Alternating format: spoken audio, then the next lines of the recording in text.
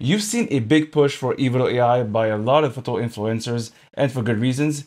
Evoto AI is awesome. So I actually love editing, but I hate retouching. And that's where Evoto comes in. So Evoto reached out, they wanted me to check out their software. Evoto AI and a lot of AI retouching tools do save you tons of time away from Photoshop. And in my opinion, anything that takes you away from Photoshop is a really, really good thing. But do you know there's another software out there that retouches skin directly in Photoshop and has a big advantage that no one talks about. Retouch4Me offers amazing utility software that I have been such a massive proponent of. Let's compare Evoto and Retouch4Me.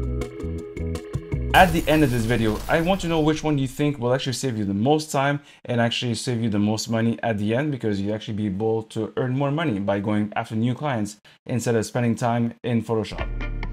But if you want to keep retouching stuff manually in Photoshop, well, please skip this video. This is not for you. So both Evoto and Retouch4Me have tons of deep skin editing features that'll solve most of your portrait issues. For example, Evoto has over 30 features dedicated only to body and skin, which is actually pretty awesome. And if I compare it to for Me has 12 specific tasks, or 11 really, that is dedicated only to portrait work. Both software work in really different ways if you compare both. So the, I think the simplest way to approach this problem is to do three things, is to compare what we do mostly as portrait photographers, which is number one, skin healing, which is basically called acne and freckle in Evoto. The second one would be dodge and burn. So where are we're gonna remove all these small little issues that we cause by lighting or little shadows that we don't wanna see. The third one is dodge and burn again, but at the macro level, or what Retouch4Me calls portrait volumes, which is basically contouring and adding lighting to wherever you want, or basically creating contrast in a nutshell. Later in the video, we'll go over other features that I think that are interesting, but for now, let's focus on these three and retouch the photo. So here is the raw portrait of my friend. This is in Capture One, so ignore that part. This setup that I use for this one is a three light setup that you can see on my Instagram. You can follow me to, for more setups. It's a three, three light setup, basically one for the background, one for overhead, and one main light for the face. So in order to be fair to the software and compare them really apple to apple, we'll push the files at 100% or all the effects at 100%. I don't want to go 50, I don't want to measure by my eye, let's just be very, very neutral and go to the maximum effect and see the one that behaves the best for our needs. Let's start with Evoto. Evoto is a standalone software, so basically you need to download it, which is free. You only pay basically per credit. The way that Evoto call their healing, which we compare in Retouch4Me, is called acne and freckle. Uh, there's no other currently features being applied, so this is really raw. And what we're gonna do is we're gonna push freckle and acne to its basically maximum. All the blemishes and acne has been removed from Rosie's face. And now we, now we see this, let's jump into Photoshop. And the reason why we're in Photoshop is because the software that Retouch Me uses is based on Photoshop. So it uses Photoshop, but there's also a standalone version that you can get and also a panel if you want to get this in a big, big panel here, which is Cloud Retouch or also on device. So I ran it once before, but let me run it again. I'll uh, just delete this. The best way to approach this is to make a new layer because again, it's Photoshop. And let's run in through filters, Retouch4Me here. As you can see, it's pretty fast. I would suggest also making a mask so you can have a little more control if you want to reduce the opacity or change something else in the actual photo. Let's zoom in a little bit and see the impact. Let's apply it. A little zoomed in. I'm gonna open this. So this is again without the retouching and with the retouching. As you can see, it's a little less aggressive than Evoto uh, which made the skin basically almost perfect by you removing everything basically that's uh, basically unwanted into the photo in terms of blemishes. So Photoshop, Evoto, Photoshop, Evoto. So now that the skin is healed according to both software, let's apply the dodge and burn. So Evoto calls it smooth face skin, what really we know it's dodge and burn. So let's apply dodge and burn.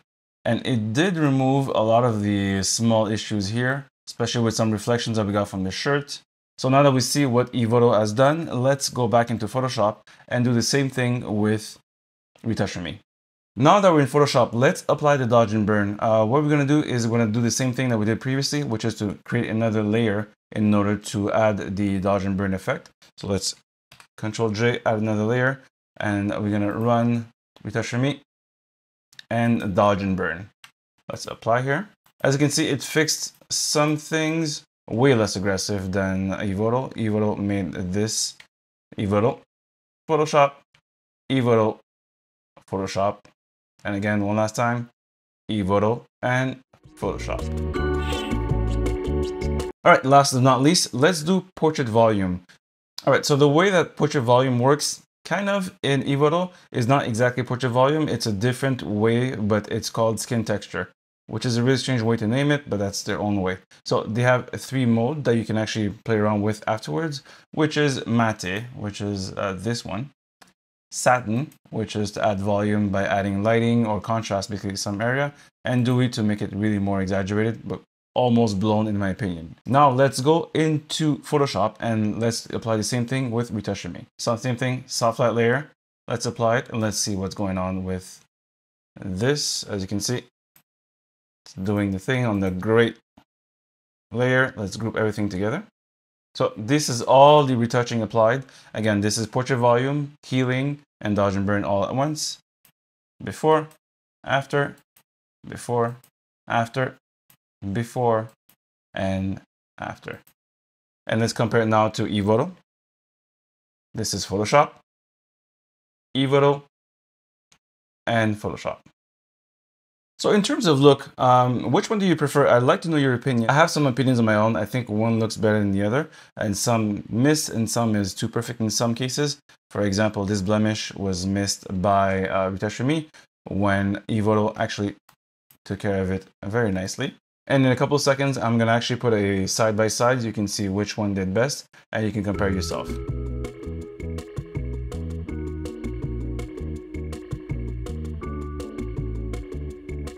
So in terms of pricing, things have changed as you know from the industry, where before, back in the days, we used to have the beauty of paying for one software and it was supported for X amount of time.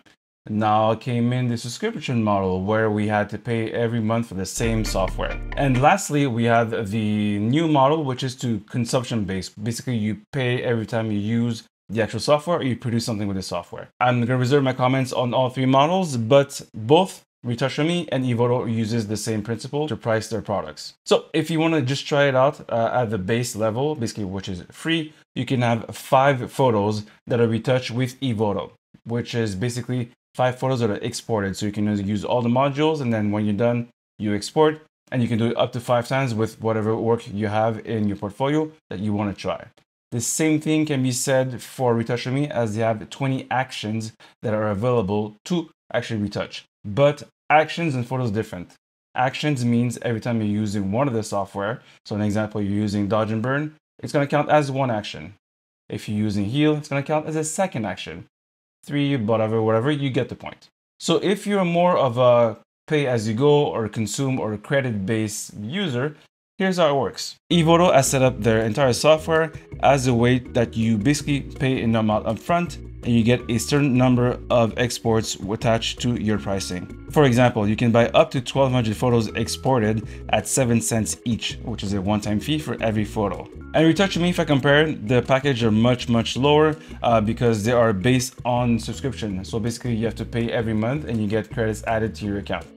For example, the lowest number of actions you can buy is 10 cents an action at 500 action you get 0.07 and 1500 actions you get 0.06 cents. So basically 6 cents 7 cents and 10 cents if I go up the scale. Again this is based on monthly consumption. You can buy these one-off package but to compare it will be very difficult.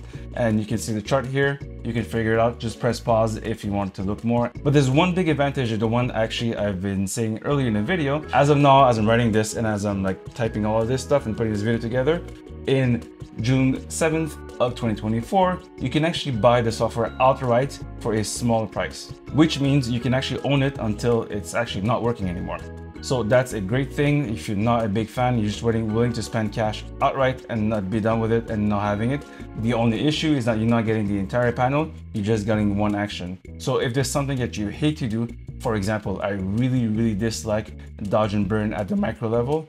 Uh, I actually bought it myself way back in the days and that's been saving me a lot of time because I the action of dodging burn is actually very tedious and I absolutely dislike it and it does a pretty good job at doing it at the micro level. But now that we've reached the end of the video, with the pricing element alone, like what do you think is the best option for you? Is it Evoto or Retouch.me?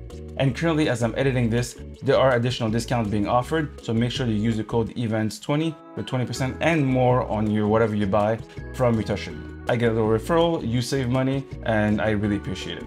All right, that's it for me. Leave me your comments. Let me know which one you prefer and which result you like the most. I'll be posting the same thing in Instagram, so follow me there, and I'll see you in the next video.